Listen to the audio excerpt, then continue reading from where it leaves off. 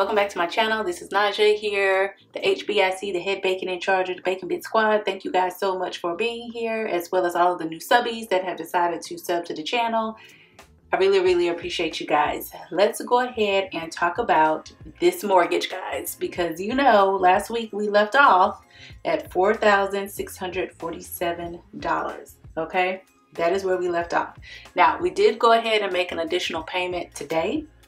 However, there is going to be one additional payment that will be made for the month of July.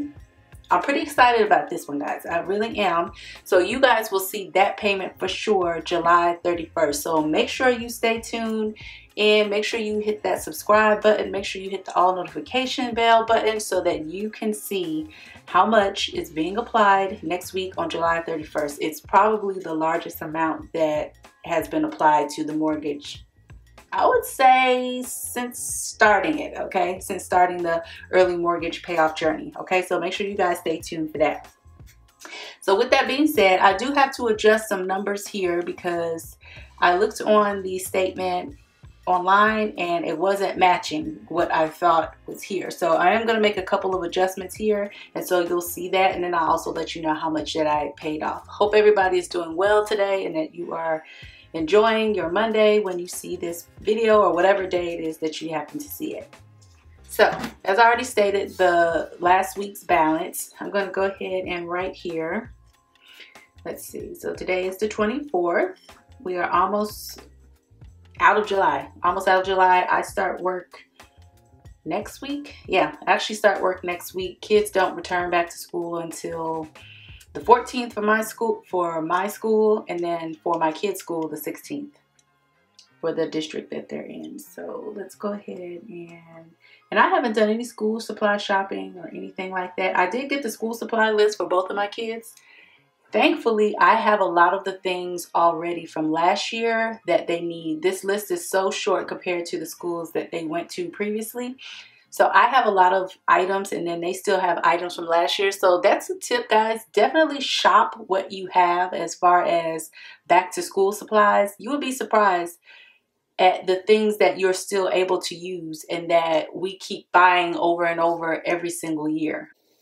So make sure you shop those supplies and save yourself some money. I think the most thing that I'll have to really purchase for my kids are clothes. And that's for the oldest one because now he's getting ready to go to uh, public school.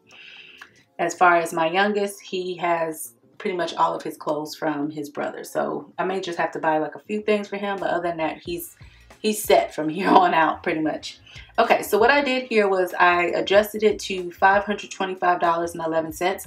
Now that is not how much that I actually paid this week. It was actually $500. But the $25.11 is an adjustment from where I was doing all of these estimates and stuff. And I didn't know exactly how much the mortgage principal amount was going to be. So I had to go in here and adjust it. And this is what the screenshot basically stated from the balance. So now the new balance is $4,121.89. Yes, $4,121.89. That is our new balance. We are getting ready to hit a new milestone. We're getting ready to hit a new milestone for the month of July, guys. Um, like I said, stay tuned for that next week's video. Largest amount that we've been able to put on here. And I'm pretty, I'm pretty excited about it. Yeah, that is where we're at. I don't think I'm going to color in anything today. But I did want you guys to see and for me to continue to be consistent with these videos. Let's see what our amortization schedule says. If we're at 41, 21.89. So now that brings us down to paid up to January 1st, 2031 if we were to stop here. But you know we're not going to stop. You got you guys know we are not going to stop. We are almost at the finish line. We have one, two, three, four, five, six for this six payments, and that's what it says in the in the uh, online account as well. Six payments. So yeah, I'm pretty excited about that, guys. We are, yeah, this is going to be really, really good. Okay, guys, if you happen to enjoy this video, definitely share it with somebody else. Share it for inspiration to let them know that this can be done. our mortgage debt was the largest debt that we had. I'm going to do like a whole video on how much the debt was that we initially had as far as consumer debt and if we've ever had student loan debt and all of those things because I don't think I've ever done that or even addressed that.